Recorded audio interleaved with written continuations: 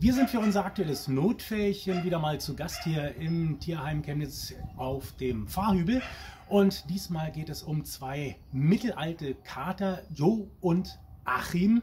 Die beiden haben ihr Herrchen verloren, ist verstorben und jetzt suchen sie natürlich ein neues Zuhause, was ein bisschen mehr Qualität hat als hier die Unterbringung im Tierheim, wobei sie es sehr schön haben hier. Wir sind gerade im Außenbereich. Der Joe der ist jetzt gerade hier draußen, wobei der Achim sich gerade drinnen verschanzt. Also die beiden müssen sich auch erstmal ans neue Herrchen oder Frauchen gewöhnen, sind ein bisschen schüchtern, sind ein bisschen zurückhaltend.